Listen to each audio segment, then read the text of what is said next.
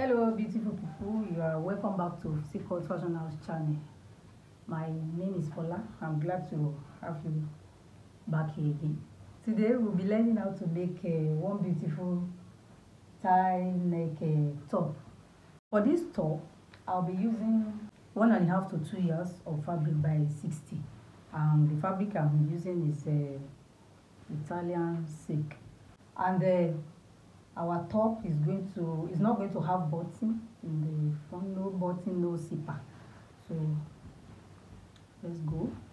We'll be using 26 to 27 inches for our top length because we want it to to be in such a way that you can one can tuck in with it. And the measurements i'll be working with i'll be working with bust 33 waist 28 and the hip 38 but for this top for the fact that it's not having a button or zipper it's going to be loose top so which means we'll be adding to the to the measurements. Let's add like a four four inches to this uh, measurement. If i had four i mean four inches to 38 which is my hip measurement is going to give us 42 so you divide 42 by 4 it gives us a 10.5 so and I will be adding uh, 1 inch uh, same allowance to it. So I will be folding this fabric with uh, 11.5 to 12 inches. The length we are using let's use a 27 inches. 27 inches Um, I'll mark it okay. It's rough like 12 inches here and fold 27 inches.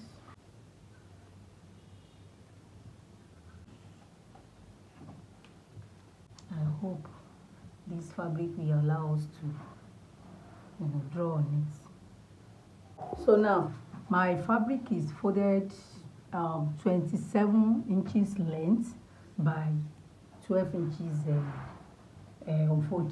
So I will go ahead and get the, the shoulder length. The shoulder length I'll be working with is uh, 15 inches divided by 2, 7 and a half then plus seam allowance of about an inch, making 8 inches. So I mark 8 inches here. I, I draw my armhole line my armhole line is going to be 8 inches. Let me mark a M line of half inch. Then 8 inches is my bust line. The um, waistline is uh, 16.5 so let me mark the same joining allowance of half? Inch, inch um, 8 inches bust line then 16.5 then I connect it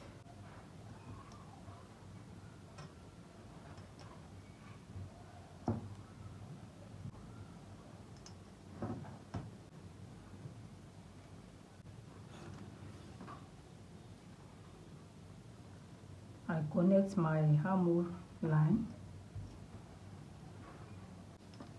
Then I get my shoulder slope of 1 inch. Now the wide neck of the neck is uh, we're using is 3 inches wideness. 3 inches. Then the depth of uh, 7 inches. We're using 7 inches depth. Our neckline is going to be like a V, one kind V. The way I'm going to do it, I'll first of all step down uh, with like a 3 inches, 2.5 to 3 inches. I step down slightly, I mean slantly. This is 3 inches here then here I have the 2.5 I connect it.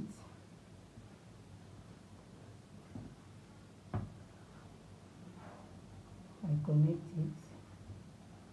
Then from there I connect to this uh, my 7 inches.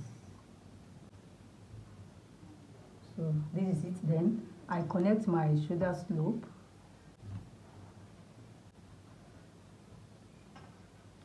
Don't forget the to draw out the joining allowance shoulder joining allowance. Just connect it straight up.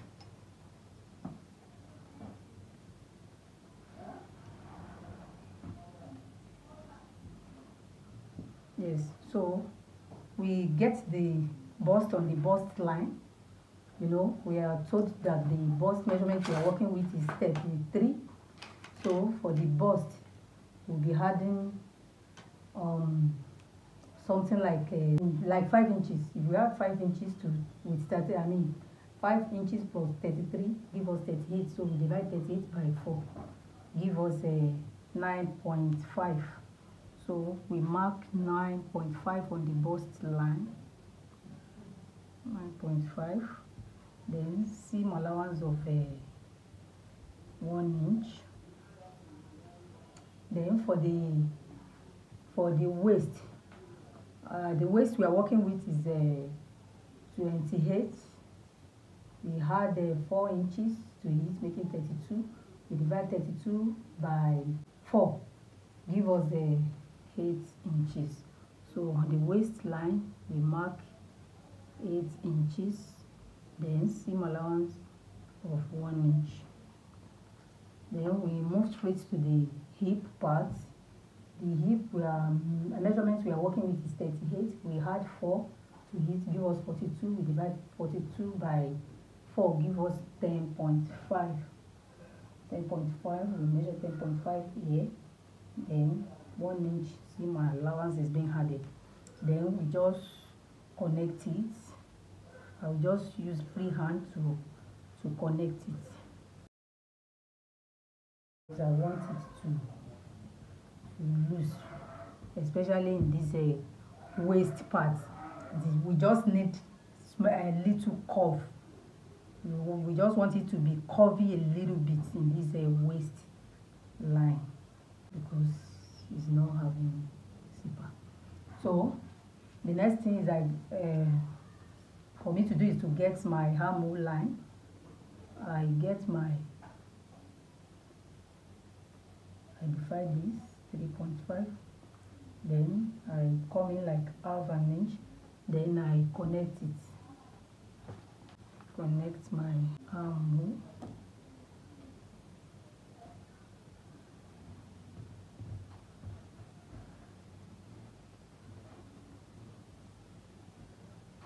Yes.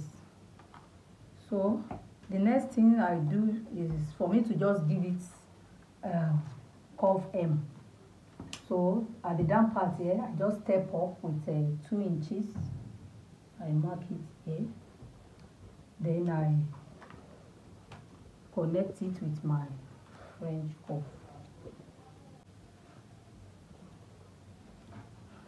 oh you are seeing it clearly. So this is it. The next thing is for me to cut it out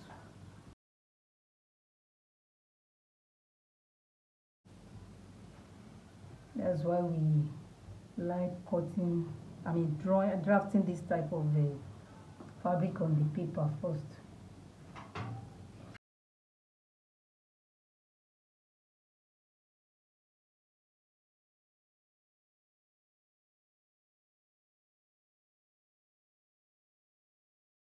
So this is the front cut. We want to go ahead and cut the back and as it is, this we are going to cut facing for it. We are going to this place is going to have facing we are going to cut it the same way the shape of the neckline is. We just um, use like a 2.5 half of this uh, shoulder line. Um, half of the remaining of the shoulder line we use it then. We get our 2.5 to this end. So that will be that will serve as our facing for the front. So let's go straight to the back cut so now I want to cut the back and I folded my fabric.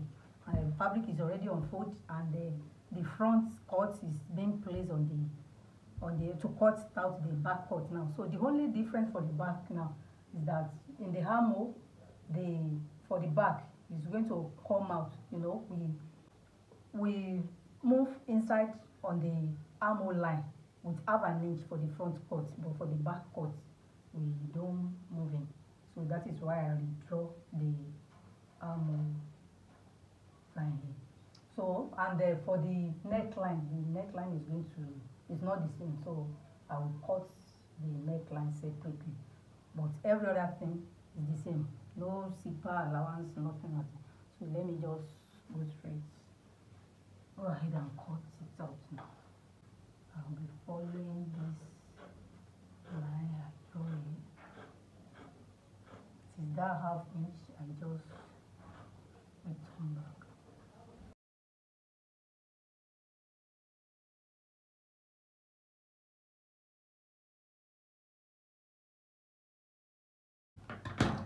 so I will remove the front cut from it so so we can let's just do it straight up. For the neckline of the back cut all we do is that we come down. The wideness is the same. So we just step down with 1.5 one inch is the real neckline then plus half an inch uh, joining allowance. So we just go ahead and connect it to this end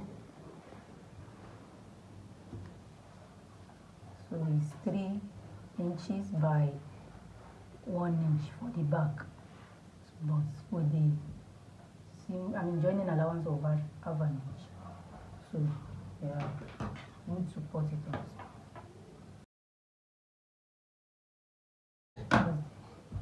that's for the back cut this is it. I've gone ahead to cut out my facing.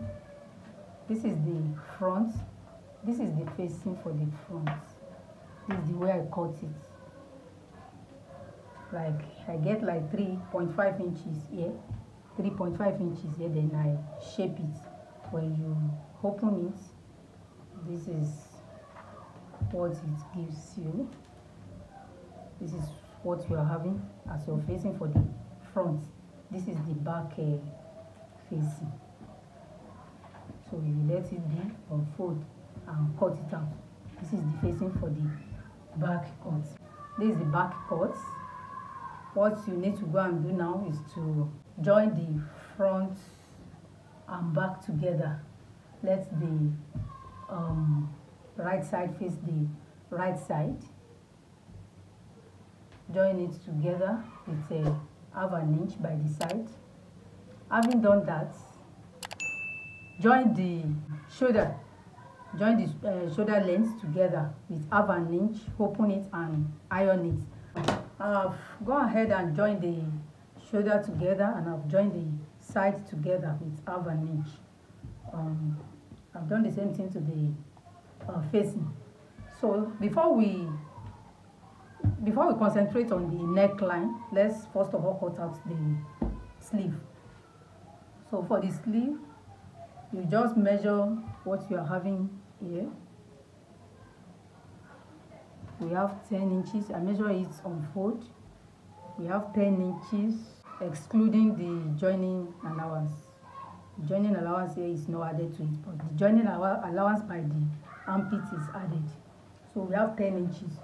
So to cut out our sleeve the round up. i mean upper arm circumference of the client is uh, 12 inches we had uh, 2 inches to hit making 14 divided by 2 give us 7 then plus 1 that's 8 inches. So it is 8 inches we'll be using to fold our fabric to to draw out our arm hole i'm supposed to draw on the wrong side but just let me make use of this fabric this way. So I'll be folding my fabric with 8 inches so first of all we get the length of our um, sleeve. The length of our sleeve is 23 that is the sleeve length i mean long sleeve length of our client so i will be adding 3 inches to it making 26 so i will mark 26 26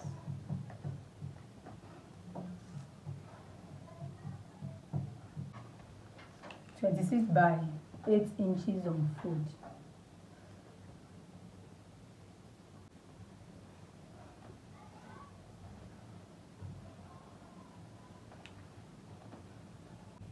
so that is what I'll be making use of. Let me just cut it out so that so I can use the wrong side of this fabric to to draw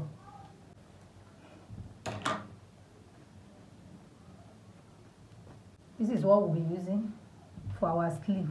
Because I will be making a sleeve with a, a smoky cuff. That is what my client requested for. So assuming you want to make the shirt sleeve that is on the thumb uh, thumbnail all you need to do if your if your your client's uh, sleeve length is 23 you deduct 3 from that 23 so you just measure uh, 20 inches just add a 1 inch uh, joining allowance to it. So you mark out 21 inches. So the remaining um, 3 inches you will get the remaining 3 inches in the cuff so you are going to fold your cuff to get the remaining 3 inches. That is for if you are making shirt uh, sleeve. But for this one uh, because of the smoke because by the time we smoke the um, wrist uh, part is going to it will jump up.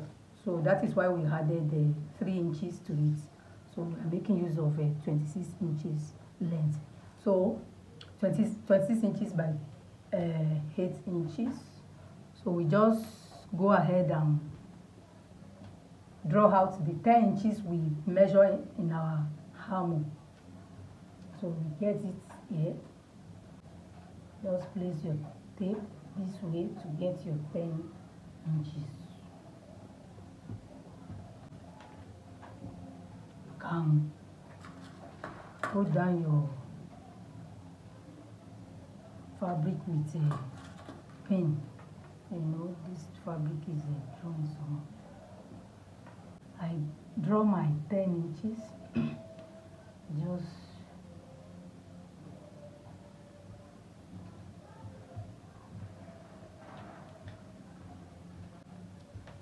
I mark it again to ensure that I'm on safer side.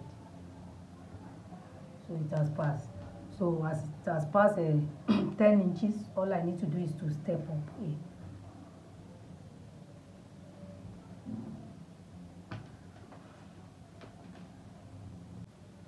Yes I'm having my 10 inches now. So I'm not going to shape it at the down part here because we are going to smoke the part so no need of shaping I'm going to cut two of this. This is this is the sleeve so I'll be smoking on the down part I'll be giving it like a four rows uh, smoking. So that is for the sleeve. Now the next thing we want to do now is to take care of the tie part of our top. So and to achieve that I cut out this um seven inches. I cut I cut out seven inches by you need seven inches by 50 by 50 inches. Let's see what we are having here. So we are having 54 here so we are having 7 inches by 54 inches here. So you can use 7 inches by 50 or thereabout. So now to cut our tie now we are going to fold it this way. Let me see how it's going to be possible okay. Fold it into equal parts like this first because we want to cut it on fold then having fold it equal into equal part this way then you fold it this way. So arrange it very well so that everything let me just hold it down with my pin. My tie has been you know folded into I've folded the fabric into four. Now you can see this side is unfold can see the way it is. So the next thing I want to do now is to measure the this is going to be the um, neckline now. So the height of uh, the the the collar part of that tie you are seeing there is uh, the height is one inch. So i'm going to mark 1.5 inches we have an inch for uh, joining allowance. So i mark 1.5 inches. And you know in our in in our neckline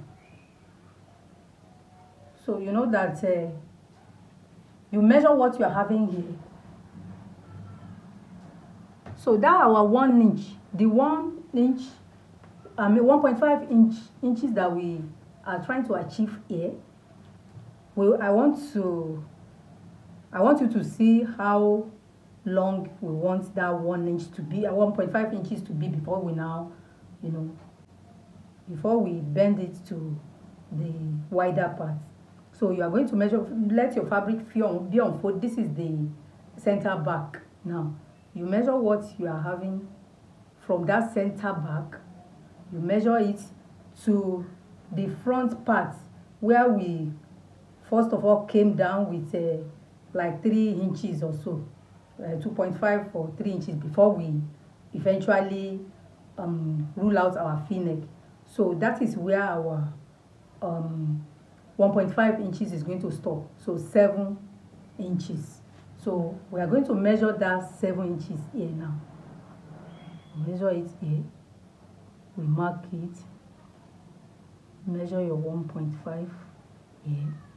Then you connect it with straight ruler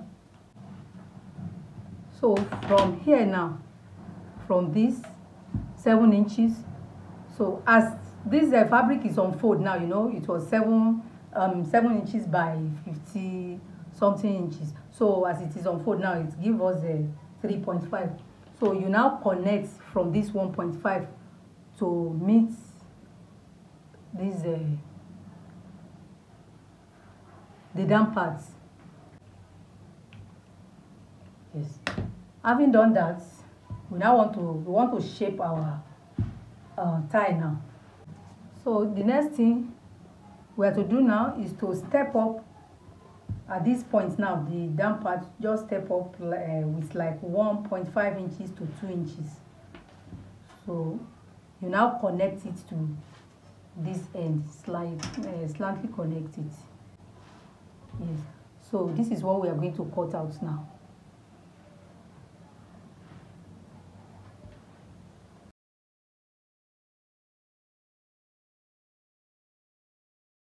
this is it. So the next thing we are going to do now is to go and stitch it. We are going to stitch it with half an inch then we turn it to the right side. So let me just explain the next thing we want to do now. So the next thing we want to do now this is the just note the center.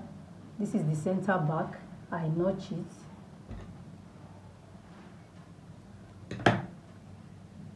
so now the next thing we want to do now is that you know when we place our fabric on fold from the center back this way you measure what you are having only at the back.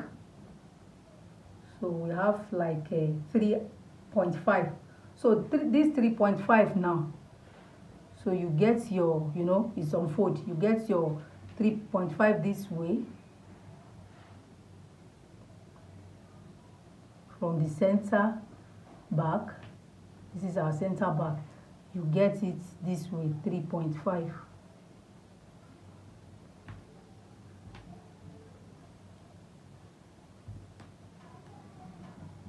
yes. So this 3.5 now you you notch it. Notch it. Notch it here as well so you have to be very careful so that it will be equal notch it so the next thing you have to do now is to go ahead and join this your tie. Join it from here. Join it with a half an inch. Join it straight to this end and join it here. Then do the same thing to this side then you now turn it out. Don't join this side. You now turn it out from this uh, side. So after turning it out so this is uh, this center now. So let me assuming we have uh, you know sewn down this uh, so the next thing you just do is that you take your the facing of your top and your top you know this is the way it's going to be. So after you have uh, you know joined this side and this side so this remaining side just uh, hold it down stitch it down. Then you now insert it. You get the center of your um, your center back. Notch it. Then you now insert it. You insert it you know turn it turn inside. You turn inside just this way. You you ensure that it matches your center back. Let it match with the one you have notched here. Then you now run through. You sew it through from here. Just sew it through to this end. So will now this is how it's going to look. Then you have this as your tie so that is what i'm going to do now. And uh, that's uh, all about this uh, top i'm sure you have enjoyed this video. So drop your comments on the comment section. Try it on your own and uh, let me see the give me feedback. And uh, subscribe to this channel. Thanks for watching. See you on my next video